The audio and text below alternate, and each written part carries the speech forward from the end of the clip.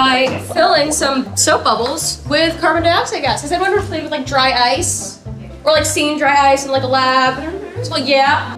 The neat thing about dry ice is that it's a really, really, really cold gas. So when you expose it to a little bit of heat, or relative heat, it starts making a lot of gas. And we can trap that in bubbles. We're just gonna get plenty of dry ice in here. That's a lot of dry ice. That's a lot of dry ice. Yeah. What do you guys think is gonna happen? What do you think our bubbles are gonna look like?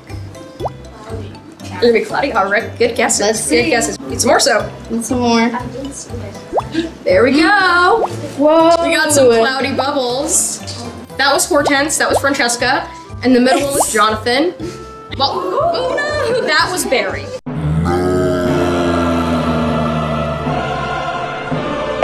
You Gotta see how big of a bubble we can make. Yeah, let's see how big we can Let's go.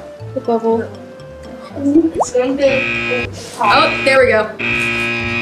If we make a bubble, we're gonna see we're able to pass it back and forth. Now these bubbles are a lot heavier than regular soap bottles because they're filled with just carbon dioxide. And carbon dioxide is a heavier gas than most other gases. You, you killed my ghost. Sorry. There we go, let me pass it. There we go.